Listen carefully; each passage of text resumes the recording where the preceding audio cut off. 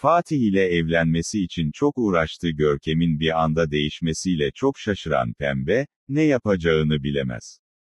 Ömer ve Kıvılcım'ın aynı evde yaşamaya başlaması ikiliyi çok mutlu ederken, bir takım sorunları da birlikte getirecektir. Bir süre durumu idare etmeye çalışsa da kısa sürede sesini yükseltmek zorunda kalacaktır. Çimen'in, Görkem'in düğününe gelmemiş olması babası olarak Kayhan'ı çok rahatsız etmiştir, bu konunun peşini bırakmayacaktır.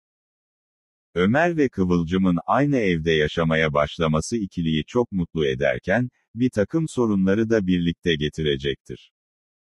Nilay'ın ısrarlarından vazgeçmemesi sonucunda Giray DNA testi yaptırmaya karar verir.